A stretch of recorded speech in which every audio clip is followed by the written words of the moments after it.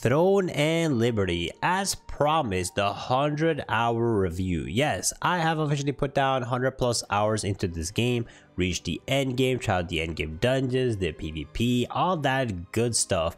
And the main question you guys have is, is this game worth playing? Is it fun? The short answer is yes, the long answer is let's find out. So where to start? Exploring the massive world, massive PvP battles, the bird malfunctioning, epic strategic dungeons, epic strategic dungeons with bird malfunctioning, or grinding mobs and dungeons for epics. Let's start at probably uh, the basics, which is uh, the questing, the leveling, and the world exploration. So at the start of this game, you enter Castleton okay? This will be your first village. In this village you start learning about grinding leveling questing crafting all that basic stuff. So you start exploring this massive world and it is a pretty massive world which will probably become even massiver later on if that's the word. But you explore it and you go, go through all these places uh, all these names that are very easily forgettable. Unfortunately there's a lot of places a lot of name places. You know you have shattered temple and you zoom in and you start getting like red moon lake and then each of these teleports had different names it gets confusing okay? There's a lot of names.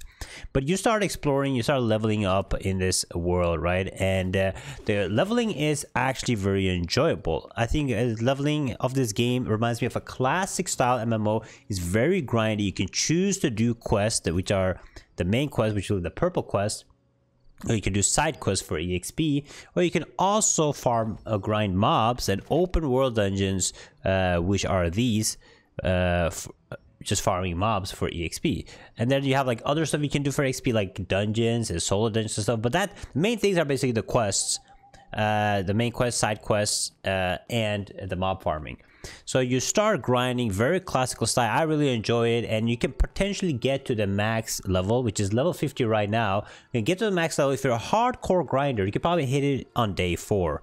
Uh, maybe a little bit earlier, maybe a little bit later. I hit it on day five, but I missed a day.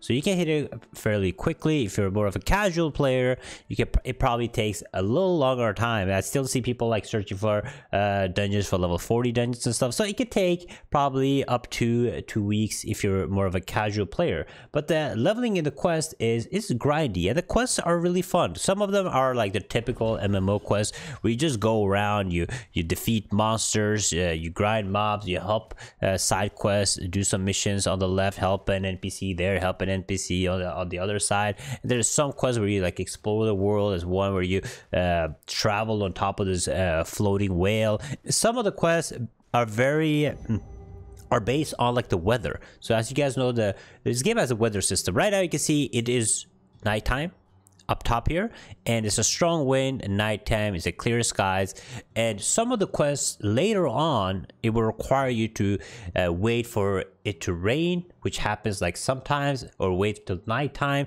or wait until dawn like there's a lot of stuff like the uh, i mean I'm gonna be honest, the weather system is not as cool as I expected. It's more of a convenience thing. But uh, the weather does uh, play in a role when you start questing later on, which is a little bit fun, right? So the world is dynamic, it's kind of changing, and it's very beautiful, it looks great. So the, that is the questing experience.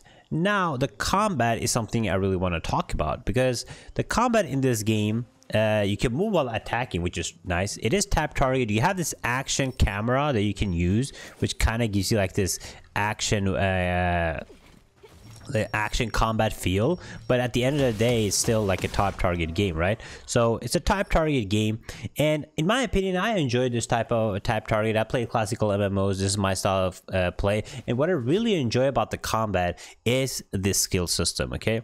So you have all these skills and what i really love about it is you have your two weapons and you can change whatever skills you want. So if you want to you can put on hey if you love your greatsword so much you can basically put on nine greatsword skills right? And then three dagger skills. Or you can balance it out five five. You can six five six four whatever you i mean uh six six six you know seven six uh, seven five whatever you want to do. So you can switch up uh, like you want to, uh, to suit your style of combat your style of play. So people will end up having like different type of uh, skill builds uh, when it comes to the classes. So uh, the combat is really nice, and a lot of people complain about, yo, there is no dodge in this game. I wish there was a dodge.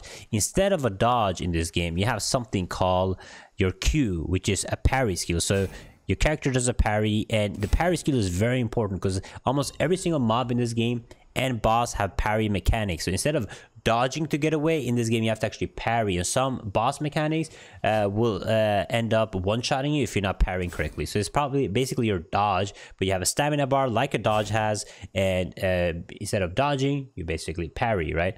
So uh, that is like the overall combat. Now things gets a little difficult because now we need to talk about the upgrades. Like what can you upgrade in this game? And at the end of the day, it gets a little overwhelming because you have weapon up skill uh, skill level uh, upgrades. You have use skill uh, level ups. You have active skill, which is actually your passive skills.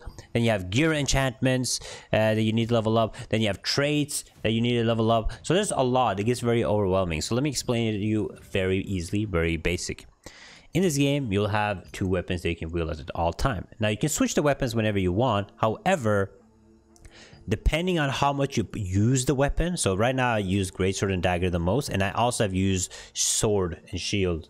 I haven't played the other classes, and you guys can see that when I use these weapons, these are just like the weapon level skill, and when you click on it, you can see that you kind of want to invest in your weapon because you start getting like a lot of like big bonuses uh, later on. So you can switch your weapon whenever you want, but the best thing is to actually just grind with the weapon. And the way you get weapon mastery, this is called weapon mastery, is by killing mobs. So the best way to do that is probably entering like the open world dungeons right here, just grinding the weapon that you want to play. Later on, you can obviously again switch whenever, but it does put you in, in a restriction because of the weapon mastery. So that's the first thing.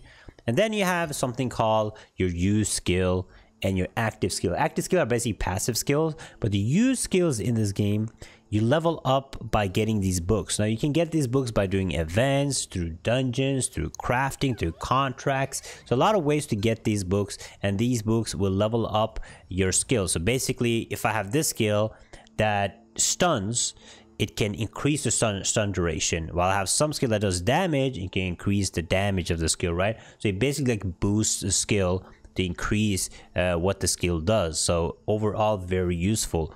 And the best thing to do, in my opinion, is focus on your main weapon and kind of use a secondary weapon as like an offhand and then eventually you can start leveling it up uh, later on but right now you guys can see that my main investments i have like epic investments into my great sword but really bad investments into my dagger right now uh obviously i should like level up the dagger a little bit more but the skills of the dagger but right now i use mainly sword skills so it's not that important to me. I just use the bonuses. And then you have the gear enchanting. Now, the, how the gear enchanting works is, first of all, you need to like upgrade your gear. So you start with green gear, you get the blue gear, you get epic gear. Once you reach epic gear, you want to start increasing the level of the gear. This is not like Lost Ark, where it's like a percentage of fail. You will always be able to feed and and get closer to the hundred percent, right? However, sometimes you get lucky and you get like you hit like a big percentage and sometimes you just hit a small percentage right? But you get this by just grinding daily doing dungeons doing uh, quests and that's how you upgrade your gear. Now when you have the full epic gear you drop epic gear by just uh, grinding, crafting, grinding mobs. Super classic style MMO. You grind mobs for hours. You grind dungeons to get the epic gear. You can awfully buy it to the marketplace, but we'll get into that later on. But that's how you get level up in this uh, your gear. So you get the epic gear, and then you start leveling it up. And if you look at your web uh, gear, you can see down there it says nine. So it can be upgraded nine times. So like this weapon right here, the great sword I that I have. Can't see it here because I have it in my bag it's level 9, which is the max level of the gear. And then when I get an epic gear, I can feed it, we end up at like a plus 3 maybe, a plus 4 epic. And then you can level up the epic to plus 9. But eventually when you get better gear, you might be able to level up to plus 12, plus 15. It will show it on the gear right there, uh, what's the max level of it. And then when you get to the end game, end game, you want to start working on your traits. So each gear piece has three traits that you can get. And uh, you want to get like the best traits for your uh, uh, class and that's how you will min max your gear so that is basically like the whole like leveling and gearing system in the game and that's what you want to be focusing on is those things your skills and your gear enchanting Now, next up, let's talk about the PvP. So in this game, the PvP is focused around Zerg PvP. The only way to like defeat people in this game is through Zerg. Very hard to defeat them 1v1, even in the smaller groups like two uh two man groups, very hard. You wanna like everything is kind of focused on Zerg PvP. And a lot of classes don't have a lot of AoE skills so that you don't just get destroyed in mass mass PvP, right? Some classes have a few PvP uh, AoE skills. My uh, my Sword has a few uh, AoE skills, but overall, you don't have much AoE skills. Everything is revolved around Zerg PvP and mass PvPs. If you open up your map, you can see here, there's many things that uh, uh, include a lot of like PvP gameplay. So you will have, for example, at certain places like these flags right here there'll be like def defense and attack so basically during certain events guilds can go and alliances can go and fight for the point and then if you win the point you get sometimes you get a damage bonus like this like your uh, occupying effect is direct hit so you increase the hit level. It reproduces uh, materials for you every hour which you can use for crafting which is great. So owning these are very important and winning these is good. Some of these points if you uh, win certain points they can spawn field bosses guild bosses every 24 hours if you own that point and then you can farm those for epic gear. So owning these points are really good. Right now the bad thing about this is eventually gets dominated by alliances. We'll jump into like the guild system later on, but that's basically what the PvP is all about. It's about owning these spots, fighting for like massive Zerg PvP, and eventually there will be like castles and stuff that you can get, which will give another cool bonuses.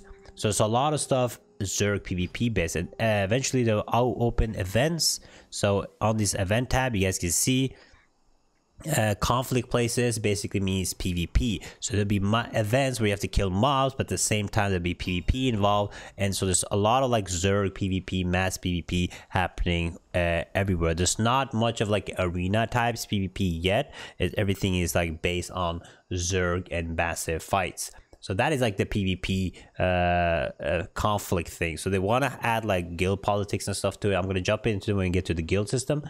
But uh, the nice thing about it is if you are a free roamer, uh, a solo player, you can kind of participate in PvP because the only way for you to die is to get Zerg, right? Unless like uh, if you're if there's a one player on you, you can very easily like, disengage from the player.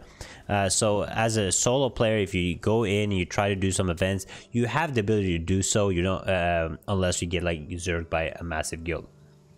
Now the PvE. So the PvE has a lot of things. So we have something called the solo dungeons where the solo player you can uh, challenge these floors and they get progressively harder and harder and the better rewards. And but eventually they come to an end. They might add more later but th this was fun to do. When you're leveling up and grinding finishing all the floors were really fun. And then you have Paulo's dimension circle which are dungeons. So when you hit level 50 you open Death's Abyss these dungeons. And these are actually mechanical challenging. However what I did not enjoy in the dungeons are the mobs and the adds are super tanky. What I do like about the adds is that they have one shot mechanics. If you don't stun an add, they will wipe out your party and they get difficult, but they are way too tanky. So the mobs take like half an hour uh, just to getting to the boss, which I did not enjoy that much. But the boss mechanics are fun. They're challenging. It's a hard content. You need to farm them. However, the drop rate is pretty bad. I farmed like 15 plus dungeons haven't seen a single epic yet so the dungeons are a six player dungeons of course you need a holy tree you need a tank you need a healer you need dps and they're fun and challenging you had a great time doing uh, the dungeons and then you have guild uh, before we get to guild dungeons uh, then you have open world dungeons which are basically these places that these uh, small dungeons here that you can enter.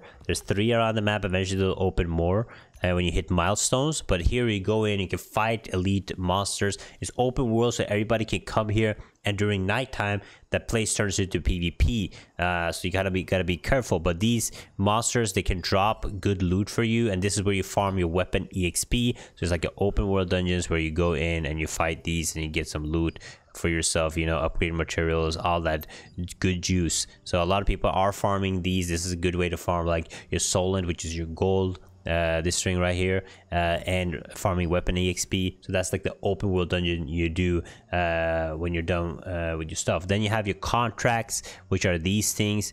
This these contracts give you basically 15 a day it reaches 15 a day. So this is your daily. Your daily have a chance to drop uh, a circle i mean a lucky charm. And i've i've done over 20 plus lucky charm and they have a chance to give you an epic and i never i've seen one epic so far and you get 15 a day 15 contracts a day you have like a chance to get the lucky coin. Uh, so like you can get up to one to two lucky coins a day and then there's a chance to get an epic. So the game is very grindy. It makes you farm a lot of mobs and these quests are like right now I picked out the easy quest because I just have to activate things but some of the main the control quests are kill adds kill mobs and grind them right? So grinding is a big part of the game. Uh, I enjoy it. A lot of people might not enjoy it but going around like uh, farming uh, farming mobs right here has a chance to drop you epics too so I've seen an epic recipe before, but it takes a lot of grinding, a lot of farming. But the game is basically made around a lot of grinding, a lot of farming. So you want to be uh, grinding these mobs. Uh, very classic style MMO. Um, I enjoy it. Uh, and then do you have guild bosses if you go to your guild territory which is in Vienta village you can enter it and every i think you have four weekly tries to do guild raids the guild raids are basically like world bosses field bosses but for your guild and then you can uh, through your guild you can farm these and you can grind these and get epic rewards. Because it because uh, let's jump into like the last thing for the pve which are the massive field bosses right? The spawns field bosses around the world it, pop up an event here and eventually show you uh, that it's to spawn a war boss. But however these field bosses are usually controlled by the massive guilds. It's very hard to get loot if you're not a part of the massive guilds. So if you're part of one of the big guilds you can actually get loot uh, let me see here. So we have a timetable right here. You see here. Uh, some of them are PvP modes. Some are peace. Uh, even the peace ones is you need enough contribution. You need enough contribution to actually get any loot. So it's very difficult to get any loot at all. But that's why you have guild bosses so you can actually have a chance to get epic loot by fighting these bosses, right? Because these are the field bosses. So that is the PvE content in the game. Now let's talk about guilds because guilds are very important in this game. Guilds control everything in this game. There's no like factions. I mean, they kind of turn into factions, but they're based around guilds. So if you come here to the Vienta village and you go in here, this is your guild base, right? This is where you have guild NPCs. This is where you do the guild raids. And there's a lot of like guild politics happening in the game too that we're going to talk about but in this place right here you can see the support right here where you meet up with your guild and you fight these monsters right? And then you have the npcs but if you look at the guild menu there's a lot of things you can do within a guild right? The typical donation stuff. Now in the guild you have guild contracts which you farm and grind to get rewards for the guild. Uh, if you look here i've gotten the rewards. Like i can claim all these rewards which gives me uh, materials. It gives me good stuff that i can that i will need. So you want to be joining a, a guild. And then you have something called distribution. Now when you do guild raids uh, if you drop items you can give these items to players or put in the guild auction. And so each guild will run like a different kind of auction different kind of distribution system in their guild so people have a chance to get loot. You probably want to join a guild which distribution system works the best for you. Uh, some people might give them to the best players. Some people might do it like rng roll based system but it's very different from each guild. And not only that there's a lot of like benefits in the guild. When you're leveling up the guild you unlock raids over time guild raids. So the more you level up the guild the better raids you unlock. And you also start unlocking buffs and then you unlock guild skills. So there's a lot of stuff that you unlock within the guild that can boost you right? So guild skills right here and then the guild can use uh, the currency that they have earned to basically use these guild seeds so they can be like guild blessing exp for two hours mana regen a bit guild rating abyss so you get uh, a lot of like basically boost by being in the guild. Now the politics because if you guys see a page here there's one page in this thing that's called allied hostile and watched. So here this is where the guild politics come in. Because like i was mentioning earlier is in this game being in a guild is super important. Because guilds control maps they get resources they get buffs they control raid bosses. So right now it's a perfect example of how it might end up in most servers. Because right now we have a guild alliance that controls everything. So this this what guild this guild right here what we they control almost everything in the map. There's one challenger guild which is a uh, Sizimon but mainly the winter guild all of them they're allied together. So what you can do is when you have allies you can put them here and then you can fight together to control these points. Then the hostile players have to come and challenge you uh, to fight you. So there'll be a lot of alliances, a lot of guild politics involved uh, to uh, be able to get these places, to get these resources, to get fight these massive battles, and have a chance to get good loot. Because at the end of the day, if you want the best loot, you want to compete for the best things, you have to be joining a massive big guild. So it's super important uh, in the game uh, to be in the guild. Now that is like I think I covered like most of the stuff uh, in the game uh, except the monetization. Now I can talk a little bit about the monetization, but I'm doing like a full video because the monetization system is massive in this game. Okay, the uh, overall like if you look at the monetization system, the marketplace and stuff, you can buy gear and everything. So I have a planned video on Friday on like covering all the monetization, all the pay to win. But the, at the the short answer for the pay to win is yes, the game is pay to win, but to what degree? That you can find out in my next video. Now, overall opinions on Throne and Liberty. I have to say, I enjoyed putting 100 hours in the game. When the game launches, I will be playing it for sure. I enjoy the combat.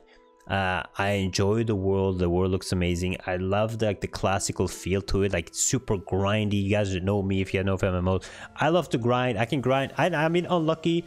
I've grinded a bunch of dungeons, a bunch of stuff, gotten loot, but I don't mind. You know, when you get that loot, you feel it feels good. You know, to be able to grind and grind. So super grindy. I do enjoy the PvP, but I do see the PvP uh, becoming very one-sided eventually. If like all the top guilds uh, join the alliance, it might not uh, be good for the health of the server. I, I noticed that when I played New World, where it's all about like territory wars, and eventually when uh, the massive guilds took over, uh, a lot of people ended up quitting. So it's a big fear of that. But overall, I think uh, the game definitely has some things to work on, like the monetization system we would talk about uh, later on, and the weather system. I wish there was more to the weather system because right now, uh, some classes get benefit of the weather system. Like an assassin has like one passive that during nighttime it does like more duration or more damage, and then you have the mage that if you're raining and you get wet, you can do like more damage. There's like certain skills on certain classes